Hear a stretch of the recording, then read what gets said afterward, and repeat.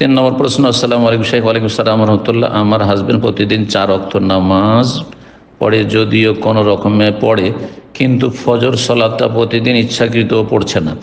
আমি চেষ্টা করেও পড়াতে পারতেছি না। এটা দীর্ঘদিন ধরে চেষ্টা করছি, কিন্তু পারছি না। এখন শেখ আমার প্রশ্ন হচ্ছে যে, আমি তার সাথে যে সংসার করছি, সেটা কি অবৈধ হবে? তার চরিত্রে আরও অন্য সমস্যা আছে, কিন্তু এটা বড় সমস্যা। তার চরিত্রে যে সব সমস্যা রয়েছে, সেগুলি ইমান ভঙ্গকারী নয়। সেগুলিতে সে ফাসিক, পাপিষ্ট। কিন্তু যেই ব্যক্তি সলাদ ছাড়লো ফজরের সময়, সে কাফের হয়ে গেল। আর কাফের সাথে কোনো মুসলিমের সংসার করা যায় নয়। কোনো মুসলিম নারীর জন্য কাফের যে হয়ে যায়, বেনামাজির সাথে বেনামাজি পুরুষের সাথে সংসার করা যায় নয়।